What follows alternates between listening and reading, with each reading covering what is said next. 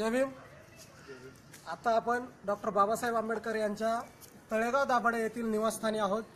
ही तीच ऐतिहासिक भूमी आहे जिथं डॉक्टर बाबासाहेब आंबेडकर काही काळासाठी राहत होते. डॉक्टर बाबासाहेब आंबेडकरांनी या या ठिकाणी डॉक्टर बाबासाहेब आंबेडकरांना एक शैक्षणिक संकुल करण्याचा त्यांच्या मनामध्ये होतं. एक मोठी शैक्षणिक संस्था या पुण्याच्या जवळच्या या भागामध्ये काढायचं त्यांचा विचार होता. आणि तो मनोदय त्यांनी वेळोवेळी आपल्या भाषणामध्ये देखील बोलून दाखवला होता. आणि त्याच दृष् दूरदृष्टीनं बाबासाहेब आंबेडकरांनी या ठिकाणी मोठ्या जागेची खरेदी केलेली होती. डॉक्टर बाबासाहेब आंबेडकर मंत्री असतानाच्या काळामध्ये त्यांनी ही खरेदी केली होती त्या काळामध्ये. आणि या वास्तूमध्ये डॉक्टर बाबासाहेब आंबेडकर राहत होते काही काळ. काही वेळा पुण्याला आल्यानंतर काही खालच्या प्रदेशामध्ये गेल्यानंतर जेव्हा आंबेडकर यायचे तेव्हा प्रवासामध्ये या ठिकाणी ते रात्री थांबायचे आणि मग सकाळी पुढचा प्रवास करायचे. असं बऱ्याच वेळा झालेलं आहे. आत्ता आपल्यासोबत या ठिकाणी या वास्तूमध्ये डॉक्टर बाबासाहेब आंबेडकरांच्या या वास्तूमध्ये काही विद्यार्थी अभ्यासाला येतात. ते विद्यार्थी या ठिकाणी M P S C U P S सीचा अभ्यास करतात. त्यातीलच एक रणशूर नावाचे विद्यार्थी आता आपल्यासोबत आहेत. स्वागत आहे आपलं मॅक्स महाराष्ट्रामध्ये. जय भीम. काय सांगाल या वास्तूविषयी आणि या एकूण परिसराविषयी तुमचा अनुभव काय आहे? इथं विश्वरत्न डॉक्टर बाबासाहेब आंबेडकर समिती आहे. त्यांचे अध्यक्ष आहेत रंजनताई भोसले आणि सचिव किस किसन थूल आहेत. तर त्यांच्या मार्गदर्शनाखाली इथं विद्यार्थ्यांना अभ्यासासाठी सोय आहे. M P S C U P S C करणाऱ्या विद्यार्थ्यांसाठी पुस्तकं अवेलेबल करून दिलेली आहेत. इथं वेगवेगळे कार्यक्रम होतात. रोज रविवारी वंदना होते आणि समाजाच्या उप समाज सामाजिक जाणीव आणि समाजाच्या उपयोगासाठी जे कार्यक्रम व्हायला पाहिजे ते सगळे इथं कार्यक्रम होतात. बरोबर आहे. म्हणजे एकूण हे एक सांस्कृतिक आणि शैक्षणिक केंद्र बनत चाललंय. शैक्षणिक आणि एक चांगली आणि आनंदाची गोष्ट आहे की डॉक्टर बाबासाहेब आंबेडकरांच्या या निवासस्थानी विद्यार्थ्यांना अभ्यासासाठी मोफत जागा दिली गेली आहे. कारण हे एक शांततेचं ठिकाण आहे आणि प्रेरणेचं ठिकाण आहे. या ठिकाणी येऊन विद्यार्थी एमपीएससी युपीएससी आणि इतर स्पर्धा परीक्षांचे विद्यार्थी अभ्यास करतात. आपल्यासोबत या ठिकाणी भेट द्यायला आलेले प्रवीण भवाळ हे आहेत. आपलं या ठिकाणी स्वागत आहे. काय सांगाल या जागेवरती आल्यानंतर तुमचा अनुभव काय आहे? काय वाटतं तुम्हाला या जागेविषयी? या जागेवरती आल्यानंतर खूपच प्रेरणा प्रेरणादायी मला वाटतंय. आणि अशी एक विनंती करतो की समाजातील ज्या काही स्त्रिया आहेत त्या सर्व स्त्रियांनी आज या माता रमाईच्या जयंतीनिमित्ताने या ठिकाणी यावे. आणि माता रमाईंनी जो काही आदर्श घालून दिलेला आहे तो आदर्श अंगी बाळगावा. आणि त्यांनी देखील आपल्या समाजासाठी प्र समाजाच्या प्रगतीसाठी कार्य करावे धन्यवाद भवाळ सर अ, मी पुन्हा रणशूर सरांकडे येतोय की ही जी जागा आहे या जागेविषयी काही वाद होते एकूण ही जागा किती आहे आणि सध्या देखील याचे काही वाद चालू आहेत याविषयी तुम्ही काय सांगाल ऑन पेपर सत्तावन्न एकर जागा आहे बरं. आणि म्हणजे तेवीस एकर तळेगाव दाभाडेमध्ये तेरा एकर वडगावमध्ये आणि म्हणजे आंबेडकरांच्या नावावर असणारी जागा होती. हो आणि पाच एकर कातवे म्हणून एक साईडला गाव आहे तिथं गव्हर्नमेंटने दिलेली त्यावेळेस त्यांना पाच एकर अशी टोटल जागा आहे. बरं बरं. मग आता ही तर एकूण किती जागा आहे या क्षेत्रामध्ये? सध्या आता तुम ही जी दिसते तेवढी जागा सध्या तर आहे. आता स- ती काय बरोबर.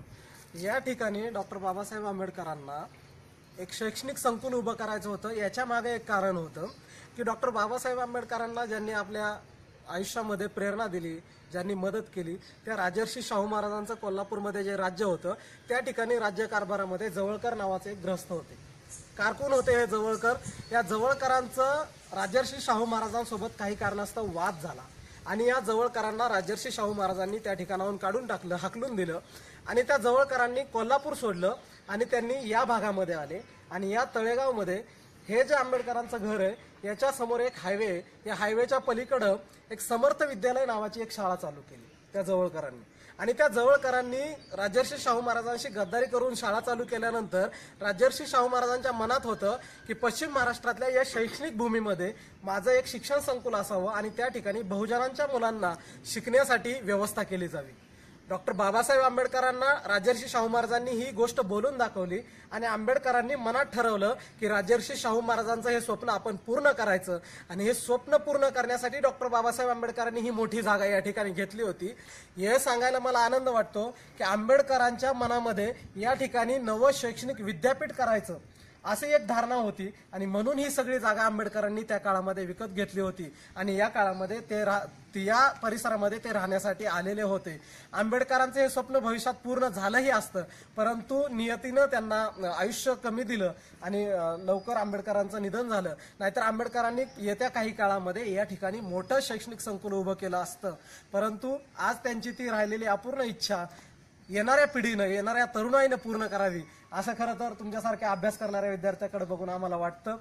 आपल्यासोबत या ठिकाणी आलेले दुसरे ग्रस्त आहेत भोसले. त्यांना मी विचारू इच्छितो की काय तुम्ही नेमकं कशासाठी आलात आज इथं आणि काय प्रेरणा आहे तुमची यामागची? आज या ठिकाणी माता रमाईंच्या जयंतीनिमित्त या ठिकाणी खरं तर आलो.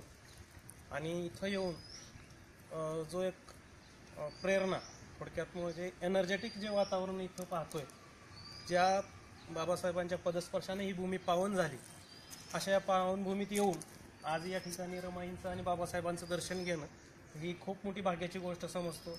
त्याचबरोबर या चॅनलनं या ठिकाणी बोलण्याची संधी दिली.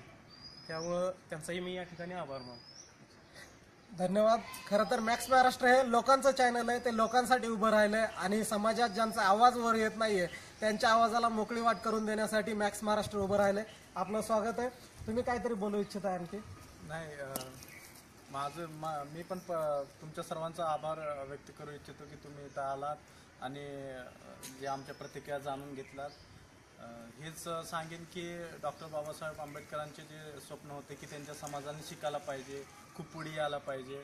आम्ही स्वतःमध्ये बदल घडवत आहोत आम्ही खूप शिकण्याचा प्रयत्न करत आहोत शिकत आहोत कॉम्पिटेटिव्ह एक्झामची तयारी करत आहोत. इथले सर्वजण खूपच हुतकर हुतकृत तरुण आहेत आणि सगळेजण सगळे संस्थेचे लोक सुद्धा खूप चांगले आहेत आणि खूप मदत करतायत. आणि आम्हाला ही अशी जागा इथं तळेगावमध्ये जे भेटलेले आहे ते आमचं आम्ही नशीब समजतो की ते आम्हाला भेटलेले आहे. बरोबर. आपल्यासोबत सुबोध काटे हे आहेत हे इथं आलेले आहेत. स्वागत आहे तुमचं. जय भीम. या ठिकाणी आल्यानंतर किंवा तुम्ही अं, मूळचे कुठले आहेत आणि इथं आले मी अ, सोलापूरचा आहे आणि या ठिकाणी नोकरीनिमित्त आहे मावळमध्ये. तर मी आज अ, र- माता रमा अ, रमाबाई यांच्या जयंतीनिमित्त एकत्र आम्ही आलेलो आहोत शिक्षक सर्व. बरं. तर अ, एक त्यागाचं जे अ, उदाहरण मूर्तिमंत उदाहरण म्हणजे माता रमाई कारण या भारत देशात जे घटनाकार आहेत ज्यांनी संविधान निर्माण करून येथील अ, सर्व लोकांना खऱ्या अर्थाने न्याय मिळवून दिला त्यांच्या पाठीमागं सावली बनवून माता रमाईने त्यांना थोडक्यात घडवलेला आहे. म्हणजे आपल्या संसाराचा मुलांचा सुद्धा त्यांनी विचार न करता केवळ आंबेडकरांना शिकण्यासाठी खूप प्रेरणा दिली आणि अशा या ठिकाणी मी येतोय. आणि माता रमाईंचं डॉक्टर बाबासाहेब आंबेडकरांच्या प्रतिमांचं त्यांच्या स्मृतींचं अ, विचारांचं. मी प्रणाम करण्यासाठी आलेलो आहे. हे खूप खूप अभिमानाची गोष्ट आहे की मी या ठिकाणी माझे सुद्धा म्हणजे मला दर्शन हे त्या ठिकाणी भेटलेलं आहे. धन्यवाद. खरं तर आपण बघतोय की लोकांना इथं आल्यानंतर भारावल्यासारखं वाटतं. आज रमाईंची जयंती आहे. रमाईंच्या या जयंतीनिमित्त आज सकाळपासून इथं अनेक लोक येत आहेत त्यांना अभिवादन करण्यासाठी. या ठिकाणी बरेच कार्यक्रम या ठिकाणी होत असतात. तळेगाव ही तशी बघितली तर लौकिक अर्थानं एक सध्या डेव्हलप होत असलेली सिटी आहे. पुणे आणि मुंबईच्या मध्यवर्ती ठिकाणी असणाऱ्या या ठिकाणाला या ठिकाणाचं महत्त्व आंबेडकरांनी कित्येक वर्षांपूर्वी ओळखलं होतं की हे ठिकाण भविष्यामध्ये दोन्ही शहरांच्या मध्यवर्ती असल्यामुळे इथं शैक्षणिक संकुल व्हावं. आणि म्हणून त्यांनी त्या उद्देशाने इथं जागा घेतली होती. आज रमाईंच्या जयंतीनिमित्त आपण या ठिकाणी आलोय. रमाईंविषयी एक गोष्ट मला या ठिकाणी थोडक्यात सांगावी वाटते की माता रमाई या बाबासाहेब आंबेडकरांच्या पाठीशी कशा प्र- उभ- प्रकारे उभ्या होत्या? आंबेडकर शिकण्यासाठी जेव्हा परदेशात गेलेले होते तेव्हा आंबेडकरांनी एक वसतिगृह या ठिकाणी चालू केलेलं होतं. त्या वसतिगृहाला जे पैसे मिळायचे ते देणगीतून मिळायचे. आणि एक वेळ अशी आली की त्या वसतिगृहामध्ये जेवणासाठी सुद्धा देणगी जमा झालेली नव्हती. आणि मुलं उपाशी होती. आणि मुलं उपाशी आहेत अशा काळामध्ये एक वेळेस माता रमाई त्या वसतिगृहाला भेट देण्यासाठी गेल्या. आणि वसतिगृहाला माता रमाईने जेव्हा भेट दिली तेव्हा त्यांनी बघितलं की लहान लहान मुलांचे चेहरे सुकलेले आहेत आणि ती मुलं नाराज चेहऱ्याने बसलेली आहेत. आणि रमाईंनी बघितलं त्यातल्या एका मुलाला जवळ बोलवलं. आणि जवळ बोलवल्यानंतर रमाईंनी त्या मुलाला विचारलं का रे बाळा काय झालं? तुझा चेहरा एवढा का सुकलेला आहे? त्याला रमाईच्या आईच्या मायेच्या त्या शब्दानं त्या मुलाला काय बोलावं ते कळेना आणि दोन्ही डोळ्यातून अश्रू गळत. त्या मुलाने सांगितलं की माई दोन दिवसापासून इथलं अन्न संपलेलं आहे. घर इथं बनवलेलं काही नाहीये आणि आम्हाला खायला काही नसल्यामुळं आम्ही रडत आहोत. तेव्हा रमाईनी रेक्टरला बोलवलं आणि रेक्टरला विचारलं. तर रेक्टरनी सांगितलं की रमाई ताई जेवढ्या दिवसाचं अन्न होतं जेवढ्या दिवसाचं धान्य होतं ते संपलं आणि बाबासाहेब इथून गेल्यानंतर इथं देणगी सुद्धा आलेली नाही.